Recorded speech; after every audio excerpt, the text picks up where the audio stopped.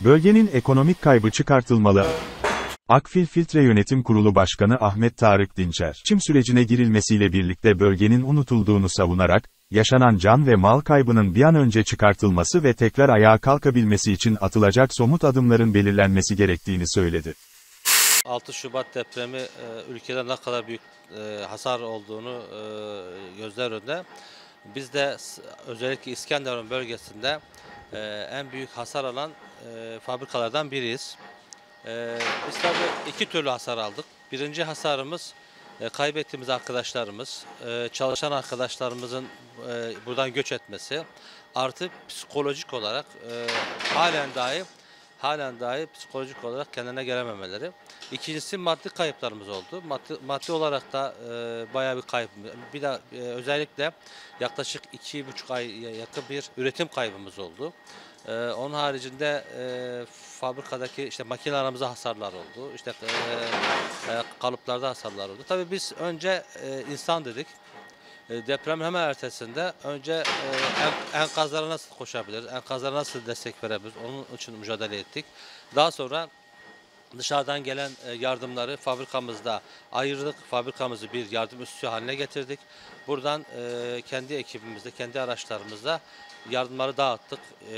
Yardım alamayan bütün köylere gönderdik. En önemli olan üretim devam etmesi. Bu bölgedeki tedarikçilerimizden ham madde alamama işimiz. Onlar da çok büyük hasar gördüler. E, ve e, biz ihracatçı olduğumuz için yurt yurt dışındaki e, yurt dışında olan firmalar e, tabi burada basında daha büyük e, şey göründüğü için mal üretme kapasitemizi, mal üretme şey bilmedikleri için e, bayağı bir tereddüt yaşadılar. Başka pazarlar aramaya başlamışlar. Bunları duyduk. Ondan dolayı biz hızlı bir şekilde e, herkese bu ayakta olduğumuzu, e, ayakta direndiğimizi gösteren bazı ufak tefek de olsa şeyler göndermeye başladık e, mamuller. Bu saatten sonra daha fazla bize ihtiyaç var. Özellikle bölgede işsizlik gittikçe artıyor çünkü birçok firma depremden dolayı tamamen kapandı. Bize çok çok depremden öncesinden daha fazla iş başvurusu geliyor.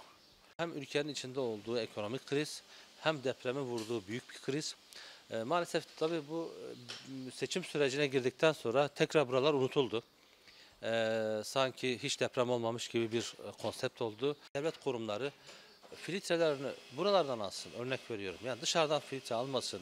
İşte atıyorum e, hasar almamış bölgelerdeki fabrikalar, araçlar, işte otomotiv sektörü biraz daha buradaki tedarik, burada, buradan daha çok tedarik almaya başlasınlar.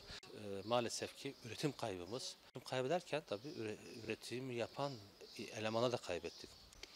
Ya gerçekten zorlanmaya başladık artık. Gerçekten artık gelecekle ilgili biz dahi kaygılar duymaya başladık. Çünkü yazık, e, bu şehire yazık, bu ülkeye yazık. E, bir an önce yerel ve ulusal anlamda bakın yani yurt dışındaki firmalar da yurt dışındaki yardım kuruluşları da bu aslında haber bekliyorlar. Ama maalesef ki kimse dediğim gibi kimse gelip burada ben İskenderun'da en ağır hasarı alan, en ağır darbe alan firmalardan biri olmama rağmen halen benim kapımı çalan hiç kimse olmadı. Açıklama yapılıyor. Devlet bu kadar destekliyor, bu kadar destekliyor.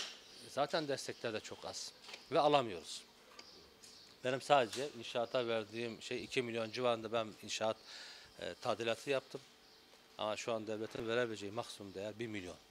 Onu da alamıyoruz. İşte Akfil Filtre 50 yıllık bir fir- firma. 50 yıldır Türkiye'ye hizmet etmiş, dünyaya hizmet etmiş bir firma, çevre dostu. Ben bunun vali, mali verilen ne isteyeyim? Zaten firmanın geçmişi belli.